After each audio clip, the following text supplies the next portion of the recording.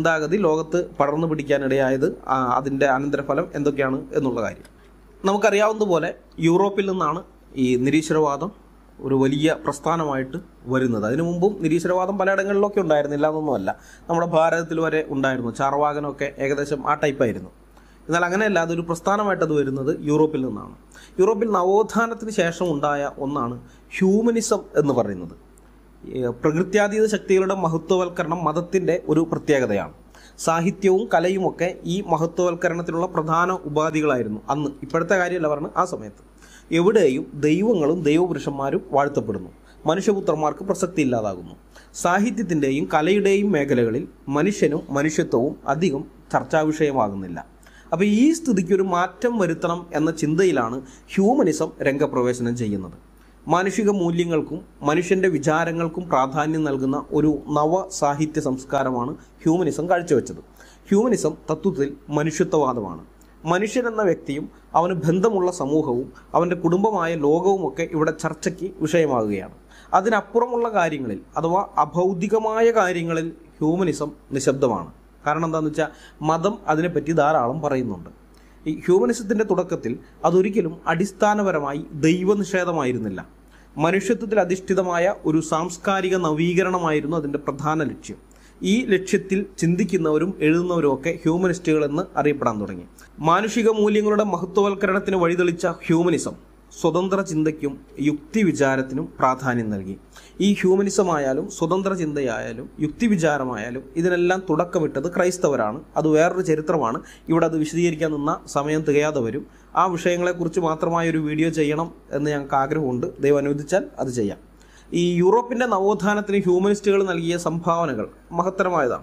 John വിക്ലിഫിന്റെയും John ഹസിന്റെയും savanna റോളയുടെയും ഒക്കെ നവീകരണ ചിന്തകൾ ഹ്യൂമനിസ്റ്റുകളെ ആഴത്തിൽ സ്വാധീനിച്ചിട്ടുണ്ട്.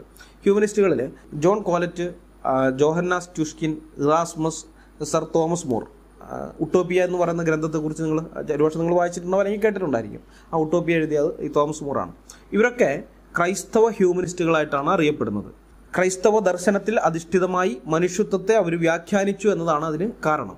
മനുഷ്യന്റെ മഹത്വവും മാനുഷിക മൂല്യങ്ങളുടെ പ്രസക്തിയും വെളിപ്പെടുത്തിയത് ക്രൈസ്തവ ദർശനമാണ്. എന്നാൽ പിന്നീട് ഹ്യൂമനിസത്തെ ദൈവനിരാസകർ ഹൈജാക്ക് ചെയ്തു. ഹ്യൂമനിസം നിരീശ്വരവാദത്തിലേക്ക് നീങ്ങുന്നതാണ് ചരിത്രത്തിൽ പിന്നീട് നാം കാണുന്നത്. ദൈവത്തെ നിരസിക്കുന്ന ഹ്യൂമനിസ്റ്റുകൾ ദൈവത്തെ ചിത്രത്തിൽ നിന്ന് മാറ്റാനും പകരം മനുഷ്യനെ തൽസ്ഥാനത്ത് പ്രതിഷ്ഠിക്കാനും വ്യർത്ഥ പരിശ്രമം നടത്തി. ദൈവത്തിനും മനുഷ്യനും കൂടി ഇത്ര സഹസ്രാബ്ദങ്ങളായിട്ടും ചെയ്യാൻ കഴിയാത്ത കാര്യങ്ങൾ ദൈവത്തെ ഒഴിവാക്കി നിർത്തി ഞങ്ങൾ കുറഞ്ഞ കാലം കൊണ്ട് ചെയ്തു കാണിച്ചു തരാം എന്നതായിരുന്നു അന്നത്തെ ഹ്യൂമനിസ്റ്റുകളുടെ ജൽപ്പനങ്ങൾ ഇത് ദൈവത്തെ ഒഴിവാക്കിക്കൊണ്ടുള്ള ഒരു ചിന്താപദ്ധതിയായി മാറിയതോടെ ക്രൈസ്തവ ഹ്യൂമനിസ്റ്റുകൾ എന്ന വിഭാഗം ഇല്ലാതായി തീർന്നു അവർ പിന്നെ ഇതിലേക്ക് അധികം സംഭാവനകൾ നൽകിയിട്ടില്ല. ആ വിധത്തിൽ പിന്നെ എഴുതാനൊന്നും തുടങ്ങിയില്ല. കാരണം നിരീശ്വരവാദത്തെയാണ് ഇത് പ്രൊമോട്ട് ചെയ്തതെന്ന് മനസ്സിലാക്കി കഴിഞ്ഞപ്പോൾ. മനുഷ്യന്റെ ഉന്നമനത്തിനും ജീവിത പുരോഗതിക്കും വേണ്ടി ഹ്യൂമനിസ്റ്റുകൾ ദൈവത്തെ ഒഴിവാക്കിക്കൊണ്ടുള്ള പല പുതിയ ആശയങ്ങളും കൊണ്ടുവന്നു. അവയെല്ലാം ഭീമൻ പരാജയങ്ങളായി മാറി എന്നുള്ളത് ചരിത്രം പരിശോധിച്ചാൽ നമുക്ക് കാണാൻ സാധിക്കുന്നതാണ്. അതിന്റെ ഏറ്റവും വലിയൊരു ഉദാഹരണം എന്ന് പറയുന്നത് കമ്മ്യൂണിസമാണ് തികച്ചും ഭൗതികതയിൽ അധിഷ്ഠിതമായതാണ് ഈ പ്രത്യയശാസ്ത്രം. അഭൗതികമായ യാതൊന്നിനെയും അത് അംഗീകരിക്കുന്നില്ല. മനുഷ്യസ്നേഹവും സാർവദേശീയ സാഹോദര്യവും സമത്വവും വിളംബരം ചെയ്യുന്ന ഈ പ്രത്യയശാസ്ത്രം പക്ഷെ പ്രായോഗിക തലത്തിൽ ലോകം ഇന്നു വരെ കണ്ടതിൽ വെച്ച് ഏറ്റവും ക്രൂരമായ നരനായാട്ടിനും ഈ ഇരുപത്തൊന്നാം നൂറ്റാണ്ടിൽ പോലും അടിമത്തത്തിനും കാരണമായി തീരുകയാണ് ഉണ്ടായത്. ദൈവത്തെ ചിത്രത്തിൽ നിന്ന് മാറ്റാൻ വേണ്ടി നിരീശ്വരവാദികൾ കൊണ്ടുവന്ന കമ്മ്യൂണിസം ലോകത്ത് ഏറ്റവും കൂടുതൽ ആളുകളെ കാലപുരിക്കയച്ച ഐഡിയോളജികളിൽ ഒന്നാണ്. ഞാൻ കുറച്ച് കണക്ക് നിങ്ങളുടെ മുമ്പാകെ അവതരിപ്പിക്കാം. കമ്മ്യൂണിസം നമുക്കറിയാവുന്നതുപോലെ ആദ്യമായ അധികാരത്തിൽ വരുന്നത് റഷ്യയിലാണ്. പിന്നീട് അത് സോവിയറ്റ് യൂണിയൻ എന്ന പേരിൽ അറിയപ്പെടാൻ തുടങ്ങി. അപ്പോൾ ഈ സോവിയറ്റ് യൂണിയനിൽ കമ്മ്യൂണിസ്റ്റുകാരാൽ കൊല്ലപ്പെട്ടത് ആറ് കോടി പത്ത് ലക്ഷം ജനങ്ങളാണ്. ആറ് കോടി പത്ത് ലക്ഷം.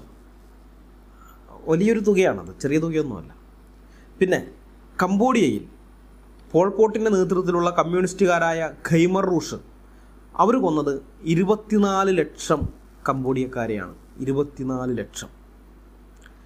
വിയറ്റ്നാമീസ് കമ്മ്യൂണിസ്റ്റുകൾക്ക് അധികാരം കിട്ടിക്കഴിഞ്ഞപ്പോൾ അവർ വിയറ്റ്നാമിൽ കൊന്നത് പന്ത്രണ്ടര ലക്ഷത്തോളം ആളുകളെയാണ്. പന്ത്രണ്ടര ലക്ഷം. പോളണ്ടിൽ കമ്മ്യൂണിസ്റ്റുകാർ കൊന്നത് പത്തൊമ്പത് ലക്ഷത്തോളം ആളുകളെയാണ്. ഈ പത്തൊമ്പത് ലക്ഷം എന്ന് പറയുന്നത് പോളണ്ടുകാർ മാത്രമല്ല കേട്ടോ. ജർമ്മനിയിൽ നിന്നുള്ള ധാരാളം സിവിലിയൻസ് പോളണ്ടിലേക്ക് കുടിയേറി അവിടെ താമസിക്കുന്നുണ്ടായിരുന്നു. അപ്പോൾ പോളണ്ടിലെ ഈ ജർമ്മൻകാരെ അടക്കം ചേർത്താണ് പത്തൊമ്പത് ലക്ഷം നമുക്ക് കിട്ടുന്നത്. മാർഷൽ ടിറ്റോയുടെ യുഗോസ്ലോവിയയിൽ കമ്മ്യൂണിസ്റ്റുകാർ കൊന്നത് എത്ര ദശലക്ഷം ആളുകളെയാണെന്നറിയോ? കൃത്യമായ കണക്ക് ഇപ്പോഴും കിട്ടിയിട്ടില്ല എന്നുള്ളതാണ് വാസ്തവം. പൊതുവെ ചരിത്രകാരന്മാർ പറയുന്ന കണക്ക് പതിനേഴ് ലക്ഷത്തിനും പതിനെട്ട് ലക്ഷത്തിനും ഇടയിലാണ് എന്നാണ്. ചിലർ അത് ഇരുപത് ലക്ഷത്തിന് മുകളിലാണെന്നും പറയുന്നുണ്ട്. വടക്കൻ കൊറിയയിൽ കമ്മ്യൂണിസ്റ്റുകാരാൽ കൊല്ലപ്പെട്ടത് എത്ര ദശലക്ഷം ജനങ്ങളാണെന്നറിയാൻ ശ്രമിച്ചാൽ നാം നിരാശപ്പെടേണ്ടി വരും. കാരണം കൃത്യമായ കണക്കുകൾ ഇപ്പോഴും പുറലോകത്തിന് ലഭ്യമായിട്ടില്ല എന്നുള്ളത് മാത്രമല്ല കാരണം. മൂന്ന് തലമുറയായി ആ ഭരണം ഇപ്പോഴും തുടർന്നുകൊണ്ടിരിക്കുന്നു എന്നുള്ളതും കൂടിയാണ്. ഇപ്പോഴും കൊലപാതകങ്ങൾ അവിടെ നടക്കുന്നുണ്ട്. ഭരണത്തോടൊപ്പം അവിടെ കൊലകളും തുടർന്നുകൊണ്ടേയിരിക്കുകയാണ്. ഉത്തര കൊറിയയുടെ ആദ്യത്തെ ഭരണാധികാരിയായിരുന്ന കിമ്മിൽ സുങ്ങിന്റെയും അയാളുടെ മകൻ കിം ജോങ് ഇല്ലിന്റെയും ഭരണകാലത്ത് ഉത്തര കൊറിയയിൽ കൊല്ലപ്പെട്ടവരുടെ കണക്ക് ഏതാണ്ട് പതിനാറ് ലക്ഷത്തിലധികമാണ്. ഇതൊരു ആവറേജ് കണക്കാണ്. പല റിപ്പോർട്ടുകളും ഇതിനേക്കാൾ കൂടിയ സംഖ്യയാണ് നമുക്ക് തരുന്നത്. ചൈനയിൽ കമ്മ്യൂണിസ്റ്റുകാർ ഇതുവരെ ആറര കോടി ജനങ്ങളെ കൊന്നിട്ടുള്ളതായിട്ടാണ് കണക്ക്. ആറര കോടി. അതിൽ ഈ മാവോ സേതുങ്ങിന്റെ കാലത്ത് നാല് കൊല്ലം കൊണ്ട് നാലര കോടി പേരെ കൊന്നതിന്റെ റെക്കോർഡ് മറികടക്കാൻ ഇതുവരെ വേറെ ഒരു ഭരണാധികാരിക്കും ചൈനയിൽ കഴിഞ്ഞിട്ടില്ല. റെക്കോർഡ് ഇട്ടു. മാവോ സേതുങ് അങ്ങനെ ഒരു റെക്കോർഡ് തന്നെ ഇട്ടു. ഈ നാലര കോടി പേരെ കൊന്നു എന്നൊക്കെ പറയുമ്പോൾ അല്ലെങ്കിൽ ബാക്കിയുള്ളവരെ കൊന്നു എന്നൊക്കെ പറയുമ്പോൾ നമ്മൾ മനസ്സിലാക്കണം എല്ലാവരെയും നിരത്ത് നിർത്തി വെടിവെച്ച് കൊല്ലുകയോ തൂക്കി കൊല്ലുകയോ അങ്ങനെയൊന്നുമല്ല അങ്ങനെ കൊല്ലപ്പെട്ടവർ കുറേ പേരുണ്ട്. ഈ കമ്മ്യൂണിസ്റ്റ് പാർട്ടിയിലെ നേതാക്കന്മാർക്കെതിരെ എന്ന് അവർക്ക് തോന്നിക്കഴിഞ്ഞാൽ ആരെയായാലും അവരെ കൂടെയുള്ള സഖാക്കന്മാരായാലും അവർ കൊന്നുകളയും അങ്ങനെ ചെയ്യുന്നുണ്ട്. അതില്ലെന്നല്ല ഞാൻ പറയുന്നത്. നമ്മൾ സോവിയറ്റ് യൂണിയന്റെ കാര്യം നോക്കിക്കഴിഞ്ഞാൽ ഈ ലെനിന്റെ കാലത്ത് വിപ്ലവമൊക്കെ ഉണ്ടാകുന്ന സമയത്ത് ആ സോവിയറ്റ് കമ്മ്യൂണിസ്റ്റ് പാർട്ടിയുടെ അവരുടെ കേന്ദ്ര കമ്മിറ്റിയിൽ ഉണ്ടായിരുന്ന ആളുകളിൽ സ്റ്റാലിൻ മാത്രമേ പിന്നെ അവശേഷിച്ചുള്ളൂ. ബാക്കിയുള്ള എല്ലാവരും കൊല്ലപ്പെടുകയോ അല്ലെങ്കിൽ അപകട മരണമൊക്കെയോ ഉണ്ടായി. പല പേര് വെടിയേറ്റ് കൊല്ലപ്പെട്ടു. ട്രോട്സ്കിനെയൊക്കെ കൈക്കോടാലിക്ക് വെട്ടിയാണ് കൊന്നത്. ട്രോട്സ്കി സോവിയറ്റ് യൂണിയൻ വിട്ട് തന്നെ. പുള്ളി അത് പലായനം ചെയ്ത് പോയിരുന്നു. സോവിയറ്റ് യൂണിയനിൽ നിന്ന് പലായനം ചെയ്ത് വേറെ സ്ഥലത്ത് പോയതാണ് അവിടെ വെച്ച് അദ്ദേഹത്തെ കൊന്നു കളഞ്ഞു. കൈക്കോടാലിക്ക് വെട്ടി കൊന്നു കളഞ്ഞു. അതേപോലെ ഓരോരുത്തരെയും. സ്റ്റാലിൻ മാത്രമേ നിന്നുള്ളൂ. ബാക്കിയുള്ളവരൊക്കെ പോയി. അപ്പോൾ അങ്ങനെ കൊന്നിട്ടുണ്ട്. അതല്ല ഞാൻ പറഞ്ഞു വെടിവെച്ചും അങ്ങനെ അങ്ങനെയൊക്കെ കൊന്നിട്ടുണ്ട്. ഇത് പലപ്പോഴും ഇവരുടെ ഈ തെറ്റായ നയങ്ങൾ കാരണം തെറ്റായ നയങ്ങൾ കാരണം ജനം അനുഭവിക്കേണ്ടി വരികയാണ് കഷ്ടപ്പാട്. ദൈവത്തെ മാറ്റി നിർത്തിക്കൊണ്ട് ഇവരുണ്ടാക്കുന്ന സിദ്ധാന്തമാണ്. അപ്പോൾ അതുകൊണ്ട് തന്നെ ആ ദൈവികമായ കാര്യങ്ങളൊന്നും അല്ലാത്ത വിധത്തിലാണ് ഇവർ ഈ കാര്യങ്ങളെല്ലാം വിഭാവനം ചെയ്യുന്നത്. അവരുടേതായ പദ്ധതികളെല്ലാം വിഭാവനം ചെയ്യുന്നത്. അങ്ങനെ വിഭാവനം ചെയ്യുമ്പോൾ ഇത് ആത്യന്തികമായി മനുഷ്യർക്ക് ഭയങ്കര ദോഷമായിട്ട് തീരും. പട്ടിണി എടുക്കേണ്ടി വരികയാണ്. പലയിടത്തും ക്ഷാമങ്ങളുണ്ടായി. ക്ഷാമത്തിന്റെ അനന്തരഫലമായിട്ട് ലക്ഷക്കണക്കിന് പേര് മരിച്ചിട്ടുണ്ട്. ഇപ്പോൾ നിങ്ങൾ വെനസ്വല എന്ന് പറയുന്ന രാജ്യത്തെ നോക്ക്. ലോകത്തിൽ ഏറ്റവും കൂടുതൽ പെട്രോളിയം നിക്ഷേപമുള്ള രാജ്യങ്ങളിൽ ഒന്നാണത് മുമ്പ് ഒന്നാം സ്ഥാനമായിരുന്നു ഇപ്പോൾ രണ്ടാം സ്ഥാനമാണെന്ന് തോന്നുന്നു. അത്രയധികം പെട്രോളിയം ഒക്കെ ഉള്ള ഒരു രാജ്യമാണ്. പക്ഷേ അവിടുത്തെ അവസ്ഥ എന്താണ്? ജനങ്ങൾ ഒരു നേരത്തെ ആഹാരത്തിന് വേണ്ടി കുപ്പത്തൊട്ടിയിൽ പോയി തിരയേണ്ടുന്ന സ്ഥിതിയാണ്. ഹ്യൂഗെ ഷാവാസിനെ പോലെയൊക്കെയുള്ള കമ്മ്യൂണിസ്റ്റുകാർ വരുത്തി വെച്ച അവരുടെ സിദ്ധാന്തങ്ങൾ അവരുടെ ആശയത്തിനനുസരിച്ച് ഓരോ പദ്ധതികളൊക്കെ ഉണ്ടാക്കിയിട്ട് നാശം അത് നശി ആ രാജ്യത്തെ നശിപ്പിച്ചു കളഞ്ഞു. ഹാർവാർഡ് യൂണിവേഴ്സിറ്റി പ്രസിദ്ധീകരിച്ച the black book of communism crimes terror repression എന്നൊരു പുസ്തകമുണ്ട്. കമ്മ്യൂണിസ്റ്റ് ഭീകര ഭരണങ്ങളെക്കുറിച്ച് വന്നിട്ടുള്ള ആധികാരികമായ പഠനങ്ങളിൽ ഒന്നാണത്. അതിൽ കൊടുത്തിരിക്കുന്ന കണക്കനുസരിച്ച് ഏകദേശം പത്ത് കോടിക്ക് മുകളിൽ വാസ്തവത്തിൽ പത്ത് കോടിയൊന്നുമല്ല പന്ത്രണ്ടോ പതിമൂന്നോ കോടി ഉണ്ട്. ഇവരെന്നാലും വളരെ കുറച്ചാണ് ഇട്ടിരിക്കുന്നത്. പത്ത് കോടിക്ക് മുകളിൽ ജനങ്ങളെ കമ്മ്യൂണിസം കാലപുരിക്ക് അയച്ചിട്ടുണ്ട്. ശാരീരികവും മാനസികവുമായ പീഡനങ്ങൾ ഏൽക്കേണ്ടി വന്ന് ചത്തതിനൊക്കുമേ ജീവിച്ചിരിക്കലും എന്ന അവസ്ഥയിലായവർ ഇതിന്റെ മൂന്നും നാലും ഇരട്ടിയോളം വരും. ഹിറ്റ്ലറും മുസോളിനിയും പോകട്ടെ. ഇസ്ലാം ഒഴികെ വേറെ ഒരു സംഘടിത മതവും തങ്ങളുടെ ഐഡിയോളജി വെച്ച് ഇത്രയും പേരെ കൂട്ടക്കൊല ചെയ്തിട്ടില്ല. ഇസ്ലാം മതം തന്നെ ആയിരത്തി നാനൂറ് കൊല്ലങ്ങൾ കൊണ്ടാണ് അത് സാധിച്ചതെങ്കിൽ കമ്മ്യൂണിസം വെറും നൂറ് കൊല്ലം കൊണ്ടാണ് ഈ ടാർജറ്റ് തികച്ചത് എന്നോർക്കണം. എന്നിട്ടും ഇന്നത്തെ ബഹുഭൂരിപക്ഷ നിരീശ്വരവാദികളും ലോകത്തെ വിമോചിപ്പിക്കാൻ കഴിയുന്ന പ്രത്യയശാസ്ത്രമാണ് കമ്മ്യൂണിസം എന്ന് ധരിച്ചു നടക്കുന്നവരാണ്. ഇന്നും ഏറ്റവും കൂടുതൽ ജനങ്ങളെ അടിമകളാക്കി വെച്ചിട്ടുള്ളത് മനുഷ്യാവകാശ ലംഘനം ഏറ്റവും കൂടുതൽ നടക്കുന്നത് ഏതെങ്കിലും ഇസ്ലാമിക രാജ്യത്തോ അല്ലെങ്കിൽ ക്രൈസ്തവ ഭൂരിപക്ഷമുള്ള ഒരു രാജ്യത്തോ അല്ല. ക്രൈസ്തവ ജനങ്ങൾ ഭൂരിപക്ഷമുള്ള രാജ്യത്തോ ഒന്നുമല്ല മതമില്ലാത്ത നോർത്ത് കൊറിയയിലാണ്. അവിടെയാണ്.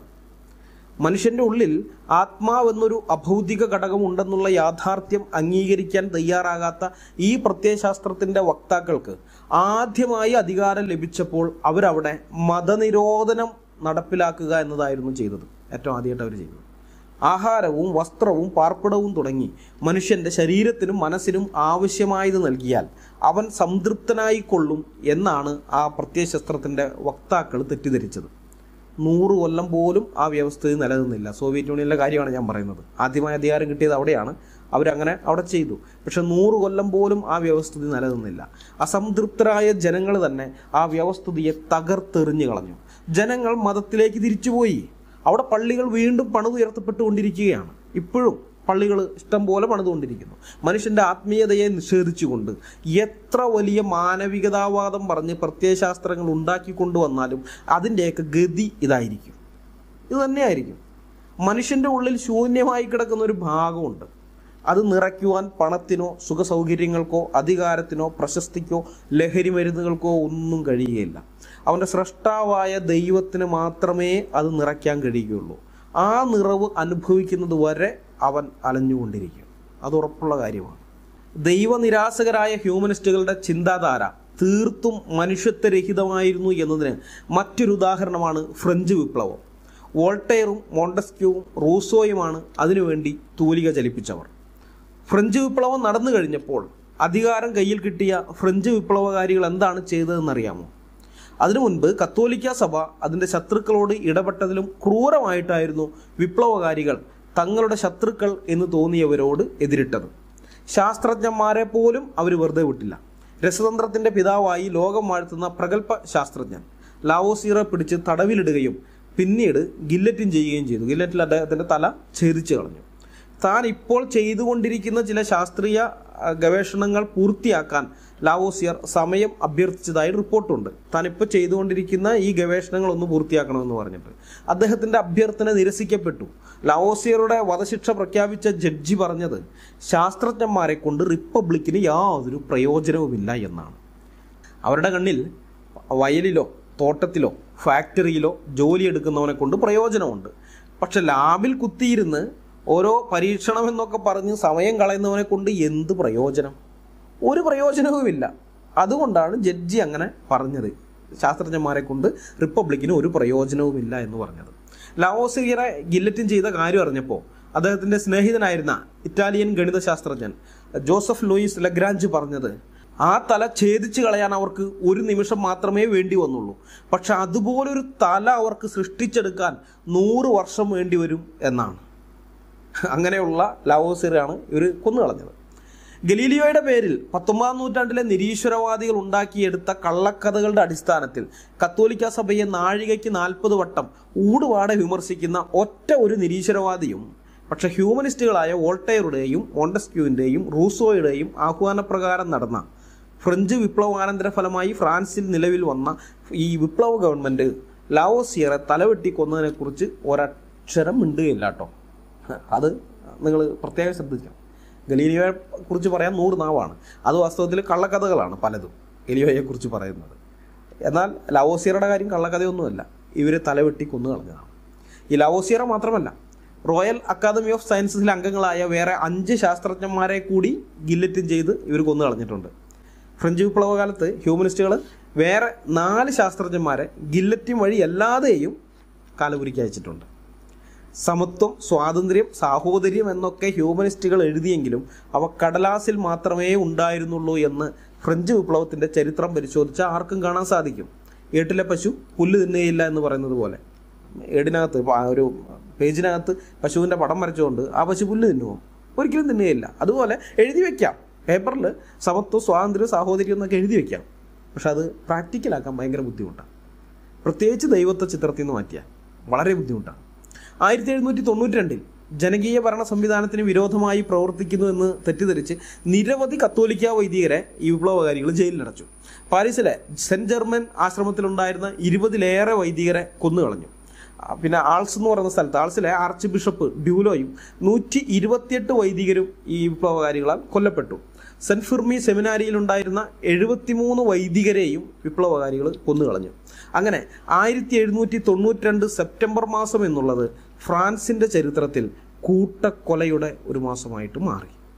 ആയിരത്തി എഴുന്നൂറ്റി തൊണ്ണൂറ്റി മൂന്ന് ഏപ്രിലിൽ മോണ്ടനിയർ പാർട്ടി അധികാരം കൈയടക്കി പൊതുസംരക്ഷണത്തിന് വേണ്ടി ഒരു പുതിയ സമിതി അവർ രൂപീകരിച്ചു. റോബസ്പിയർ ആയിരുന്നു ഈ സമിതിയുടെ നേതാവ്. പുരോഗമനപരമായ പല നയപരിപാടികളും ഇദ്ദേഹം നടപ്പിലാക്കിയെങ്കിലും പ്രതിപക്ഷത്തോട് വളരെ ക്രൂരമായ സമീപന രീതിയാണ് പുലർത്തിപ്പോകുന്നത് രാഷ്ട്രീയ പ്രതിയോഗികളെ പാടെ വകവരുത്തി. പ്രതി വിപ്ലവകാരികളെന്ന് മുദ്രകുത്തി അനേക ലക്ഷം പേരെ ഇയാൾ അറസ്റ്റ് ചെയ്യുകയുണ്ടായി. റെയിൻ ഓഫ് ടെറർ അഥവാ ഭീകരതയുടെ വാഴ്ച എന്നറിയപ്പെടുന്ന ആയിരത്തി എഴുന്നൂറ്റി തൊണ്ണൂറ്റി മൂന്ന് സെപ്റ്റംബർ അഞ്ച് മുതൽ ആയിരത്തി എഴുന്നൂറ്റി തൊണ്ണൂറ്റി നാല് ജൂലൈ ഇരുപത്തെട്ട് വരെയുള്ള പതിനൊന്ന് മാസങ്ങൾ കൊണ്ട് നാൽപ്പതിനായിരം ആളുകളെയാണ് ഗില്ലറ്റിൻ വഴി ഇവർ കാലപുരിക്ക് അയച്ചത്. സമത്വം സ്വാതന്ത്ര്യം സാഹോദര്യം എന്നൊക്കെ പറഞ്ഞ് വിപ്ലവം നടത്തിയ ഹ്യൂമനിസ്റ്റുകളാണ് ഈ ടീംസ് എന്ന് ഓർക്കണം. അവരാണ് അവരുടെ നാട്ടുകാരായിരിക്കുന്ന ഈ നാൽപ്പതിനായിരം പേരെ കൊന്നു കളഞ്ഞത് കേവലം പതിനൊന്ന് മാസം കൊണ്ട്. അതിന് മുമ്പ് കൊന്നത് വേറെയുണ്ട് അതിന് ശേഷം കൊന്നതും വേറെയുണ്ട് കേട്ടോ അതിന് മുമ്പ് ഈ ലൂയി പതിനാറാമനെയും ഭാര്യയെയും ജനപ്രതിനിധി സഭ വിചാരണ ചെയ്തിരുന്നു. മോണ്ടനിയാർ പാർട്ടിയുടെ സ്വാധീനമുള്ള ഈ ജനപ്രതിനിധി സഭ അതിനെ കൺവെൻഷൻ എന്നാണ് വിളിക്കുന്നത്. ഈ കൺവെൻഷൻ അവർക്ക് വധശിക്ഷ വിധിച്ചു. ആയിരത്തി എഴുന്നൂറ്റി തൊണ്ണൂറ്റി മൂന്ന് ജനുവരി ഇരുപത്തി മൂന്നിന് ലൂയി പതിനാറാമനും ചില മാസങ്ങൾക്ക് ശേഷം അത് അയാളുടെ പത്നി മറിയ ആന്റോനറ്റും വധിക്കപ്പെട്ടു. ആയിരത്തി എഴുന്നൂറ്റി തൊണ്ണൂറ്റി മൂന്ന് ഒക്ടോബർ ഇരുപത്തൊന്നിന് ഫ്രഞ്ച് വിപ്ലവ ഗവൺമെന്റ് പുറപ്പെടുവിച്ച ഒരു ഓർഡിനൻസ് ഒരു ഡിക്രി അത് പുരോഹിതരെ എവിടെ വെച്ച് കണ്ടാലും കൊല്ലാൻ അനുവദിക്കുന്നതായിരുന്നു. വിചാരണയില്ല ഒന്നുമില്ല. എവിടെ വെച്ച് കണ്ടാലും കൊല്ലാം എന്നുള്ളതായിരുന്നു. നരവേട്ട ചെയ്യപ്പെട്ടവരുടെ സംഖ്യ അനുദിനം വർദ്ധിച്ചു വന്നു. പല സ്ഥലത്തും കൂട്ടക്കൊല തന്നെ നടന്നു. പല കൂട്ടക്കൊലകളും അവിടെ നടന്നു. ആയിരത്തി എഴുന്നൂറ്റി തൊണ്ണൂറ്റി മൂന്ന് നവംബർ മാസത്തിൽ ലിയോണിൽ ഏകദേശം നൂറ്റി മുപ്പത്തഞ്ച് വൈദികരെ കൊല്ലുകയുണ്ടായി വെടിവെച്ച് കൊല്ലുകയുണ്ടായി. കത്തോലിക്ക സഭയ്ക്കെതിരെയും ലൂയി പതിനാറാമനെതിരെയുമുള്ള ഒരു പോരാട്ടമായി ആരംഭിച്ച ഫ്രഞ്ച് വിപ്ലവം അവസാനത്തിലെത്തുമ്പോൾ ക്രൈസ്തവ വിശ്വാസത്തിനെതിരെയുള്ള ഒരു ആക്രമണമായി മാറി. മതവിരുദ്ധ പ്രവർത്തനങ്ങൾ ശക്തിപ്പെട്ടു.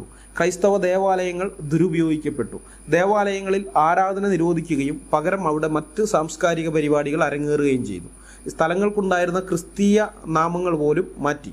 അക്കാലത്ത് ജനിക്കുന്ന കുഞ്ഞുങ്ങൾക്ക് ക്രിസ്തീയ പേരുകൾ നൽകരുതെന്ന് നിയമം വന്നു.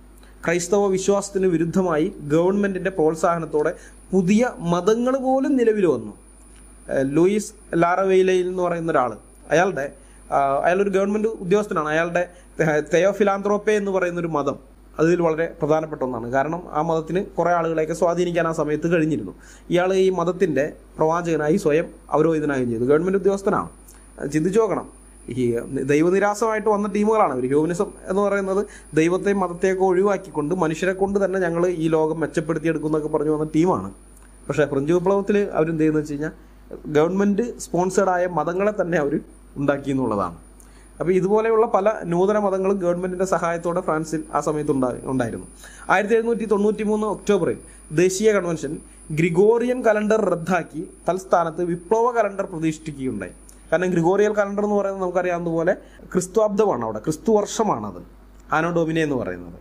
അപ്പോൾ അത് മാറ്റിയിട്ട് ആ ക്രിസ്തു വർഷം എന്നുള്ളത് മാറ്റിയിട്ട് വിപ്ലവ കലണ്ടർ അതായത് വിപ്ലവം നടത്തിയ ഇത് ഒന്നാമത്തെ വർഷമായിട്ട് ആ വർഷം ഒന്നാമത്തെ വർഷമായി കണക്ക് കൂട്ടിയിട്ട് ഉള്ളൊരു പുതിയ കലണ്ടർ അവർ പ്രതിഷ്ഠിക്കുകയൊക്കെ ഉണ്ടായി അപ്പോൾ ഇതിന്റെയൊക്കെ ലക്ഷ്യം ഒന്ന് മാത്രമാണ്. ക്രിസ്ത്യാനിറ്റിയെ ഫ്രാൻസിൽ നിന്നും തുടച്ചു മാറ്റുക. പക്ഷെ അത് അവരുടെ വ്യാമോഹമായി തന്നെ അവശേഷിച്ചു.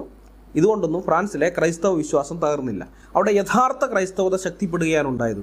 ഒന്നാം നൂറ്റാണ്ടിലും രണ്ടാം നൂറ്റാണ്ടിലൊക്കെ ഉള്ളതുപോലെ തന്നെ പീഡനങ്ങൾ വരുമ്പോൾ ക്രിസ്തുവിന് വേണ്ടി ഉറച്ചു നിൽക്കുക. ധൈര്യപൂർവം ക്രിസ്തുവിന്റെ സാക്ഷികളാകുക എന്നുള്ള ആ ഒന്നാം നൂറ്റാണ്ടിലെ രണ്ടാം നൂറ്റാണ്ടിലേതുപോലെയുള്ള സംഭവവികാസങ്ങളാണ് ആ സമയത്ത് ഫ്രാൻസിൽ ഉണ്ടായത് ആയിരത്തി എഴുന്നൂറ്റി തൊണ്ണൂറ്റി നാല് ജൂലൈ മാസത്തിൽ തെർമിഡോറിയൻ ആക്രമണത്തിന്റെ ഫലമായി ഫ്രാൻസിലെ വിപ്ലവ ഗവൺമെന്റിന് അധികാരം നഷ്ടപ്പെട്ടു. അധികം താമസിയാതെ മോണ്ടനിയർ പാർട്ടി നേതാവ് വധിക്കപ്പെട്ടു.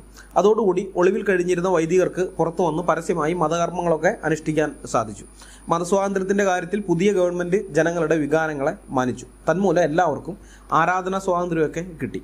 ആയിരത്തി എഴുന്നൂറ്റി തൊണ്ണൂറ്റഞ്ച് ഒക്ടോബർ മുതൽ ആയിരത്തി എഴുന്നൂറ്റി തൊണ്ണൂറ്റിയേഴ് സെപ്റ്റംബർ വരെ ഗവൺമെന്റ് സഭയുടെ നേരെ ഒരു സഹിഷ്ണുതാ മനോഭാവമാണ് പുലർത്തി പോകുന്നത്.